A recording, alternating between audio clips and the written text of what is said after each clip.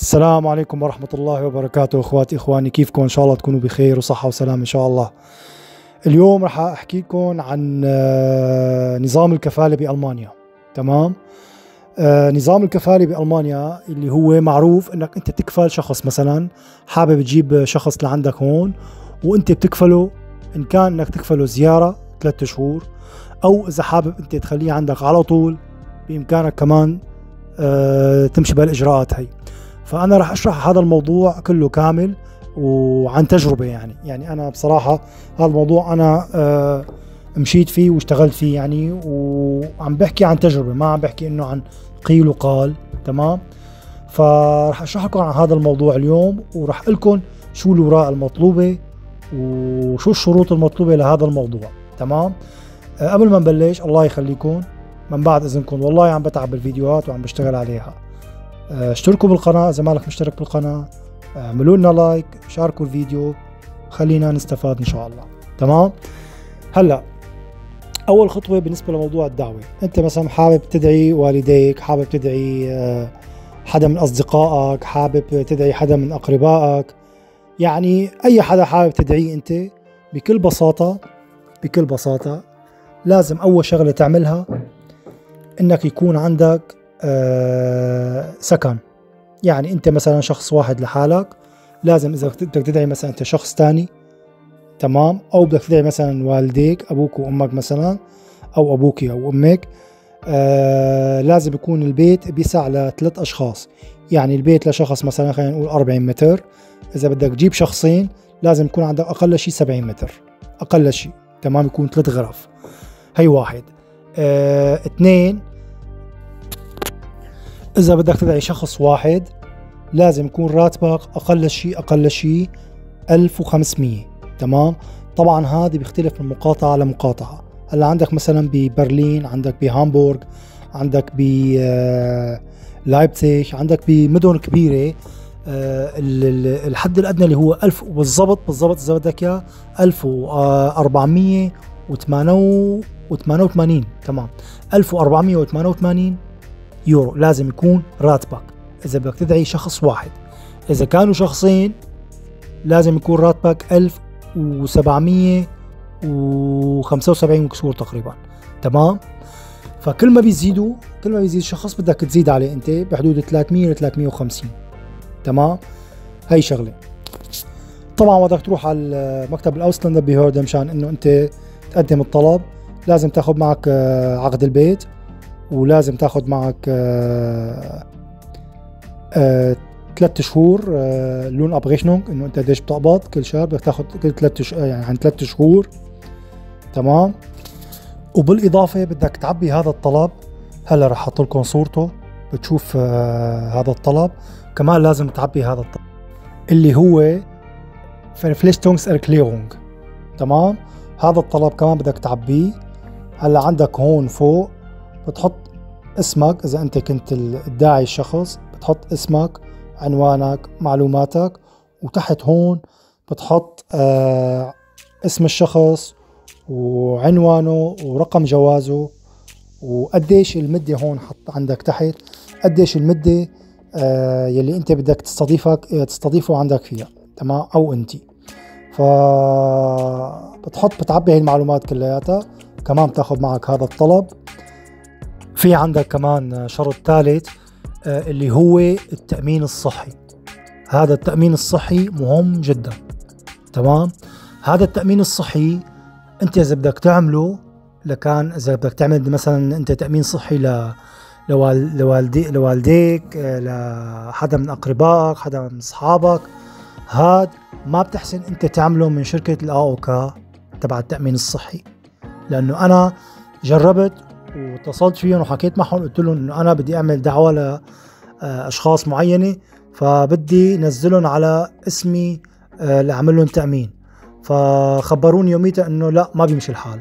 أنا طبعا اتصلت وسألتهم لأنه أنا شفت فيديوهات كثير على الإنترنت عم يقولوا إنه أنت بإمكانك تنزله على بطاقتك لأوكا. بس طلع هذا الحكي ما بيمشي الحال لا.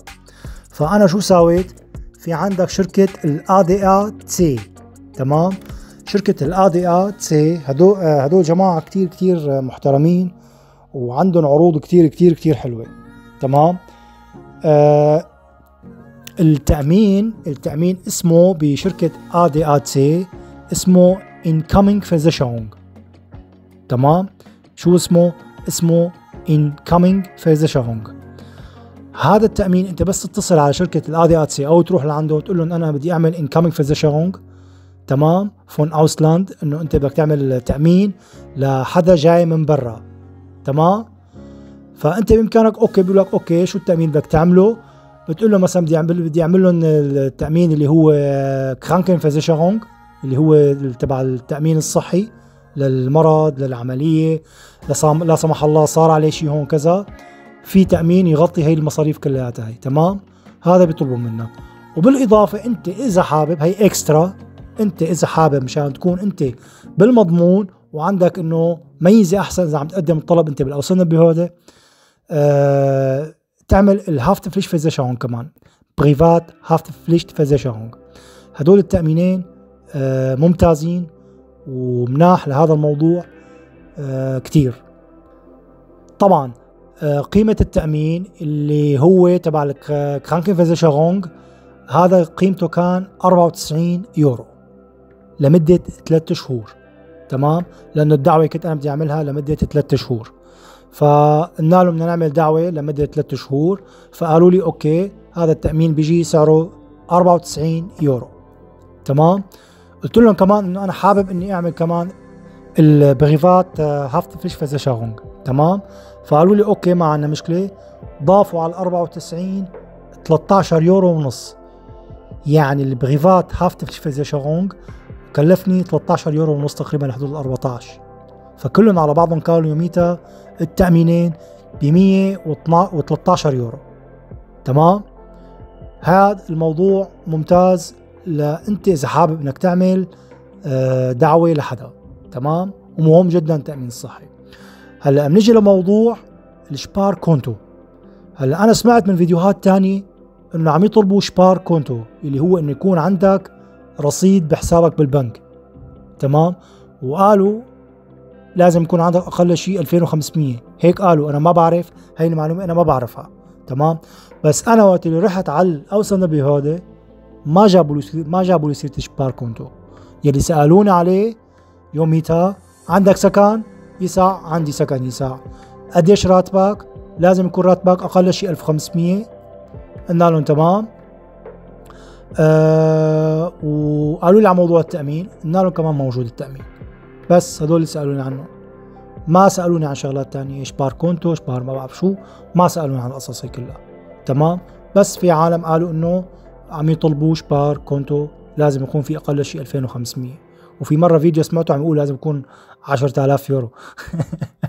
يعني صارت من المستحيلات إنك أنت تجيب حدا لعندك هون تستضيفه. إذا لازم يكون عندك أنت Sparkonto في 10000 يورو. المهم أنا حكيت لكم ال ال الشروط اللي طلبوها مني. تمام؟ هي شغلة. أنت بس جبت هي الشروط كلياتها اللي ذكرتها أنا. امورك إن شاء الله بخير وسليمة. وبصير لم الشمل وبتزبط الأمور إن شاء الله. طبعا أنا للأسف ما حالفني الحظ وزبط الموضوع ليش؟ بسبب الكورونا. رحنا مشان نعمل دعوة ل لعائلتي. فقالوا لي بنعتذر منك هلأ بالفترة الحالية ما فينا إنه نعطي آه، موافقة بسبب الكورونا. موقفين بسبب الكورونا. تمام؟ هذا يلي صار يوميتها. آه وقالوا لي إنه إن شاء الله بعد ما تخلص كورونا في مجال إن شاء الله لهذا الموضوع. تمام؟ قالوا لي إنه نحن عم نعطي هلأ حصرا حصرا عم نعطي للحالات الاضطرارية جدا. يعني بعيد من هون حدا مرضان آه حدا بحاجة إنه علاج فوري وما في منه إلا هون ومعه ثبوتيه طبعا. تثبت هذا الشيء يعني غير هيك ما عم يعطي. تمام؟ فهاد يلي آه، يوميتها حكوا لي إياه وطلبوا لي إياه. هلا في عندك شغلة تانية. أنت بعد ما جبت هذا الشخص لعندك أنت رايح عم تعمل دعوة مثلا لمدة ثلاثة شهور. أنت بعد ما جبت هذا الشخص لعندك لهون آه على ألمانيا قعد ثلاثة شهور. بعد ما خلصوا ثلاثة شهور أنت يا أخي حابب إنك ما ينزل هذا الشخص يرجع على سوريا بدك إياه يضل عندك على طول. تمام؟ بإمكانك تخليه عندك على طول بس بشرط واحد. شو هو الشرط؟ الشرط بتروح على أستاذ بيهوردة بتقول إنه أنا هذا الشخص بدي إياه يضل عندي على طول. بيقولوا لك أوكي أهلا وسهلا ما في أي مشكلة. بإمكانه يضل عندك على طول. بس بدك توقعنا على ورقة إنك أنت بتتكفل بمصاريفه لمدة خمس سنوات. أنت بتتكفل بمصاريفه لمدة خمس سنوات. أكله شربه سكنه تأمينه. هاي الأمور كلياتها أنت بدك تتكفل فيها. هن ما بيدفعوا لك شيء تمام؟ طبعا أنت آه، تركت شغلك. وقف شغلك وما عاد عندك شغل. ما عاد عندك شغل. شو بدك تساوي؟ بهيك حالة ما في مشكلة بيتحملوا هن معك هاي القصة. بس أما إذا أنت عم تشتغل وأمورك ماشية أنت بدك تضلك متكفل بهذا الموضوع لمدة خمس سنين. بعد خمس سنين بيسقط عنك هذا الموضوع. بإمكانه بقى هو يقدم لجوء نظامي. تمام؟ وساعتها بصير بياخذ مساعدات والأمور كلياتها هي تمام؟ هي فكرة لازم تحطوها ببالكم وتعرفوا إنه إذا بده يضل أنتم بدكم تتكفلوا فيه. ورقة أنتم بتتك... بتتوقعوا عليها يعني. تمام؟ بالإضافة إنه أنتم موقعين بالأساس على ورقة اللي هي Verpflichtungserklärung تمام؟ يعني من الأساس أنتم موقعين إنه في كفالة أنت جايبيها على الكفالة. يعني ما فيها شطارة القصة يعني يجي لك يلا أنا بجيبه هلا أو بجيب الشخص اللي بدي إياه تمام؟ وبس يجي له هون بعد ثلاثة شهور بقول له أنا بدي أقدم له لجوء والله. ما في حربقه صحيوا على هذا الموضوع وصاروا يعرفوا كل شيء لأنه ما شاء الله في عالم يعني آه، بيضت صفحتنا تمام تمام هون بألمانيا. تمام؟ فهذا الموضوع هيك. آه، أنا بصراحة حبيت شارككم بهذا الموضوع وأشرح لكم التجربة اللي صارت معي. ما حدا قال لي التجربه اللي صارت معي. وهذا اللي انطلب مني يوميتها تمام؟ بتشكركم. إذا عجبكم الفيديو لا تحرمونا من الدعم واشتركوا بالقناة واعملوا لايك وشاركوا الفيديو وجزاكم الله كل الخير إن شاء الله. والسلام عليكم ورحمة الله وبركاته.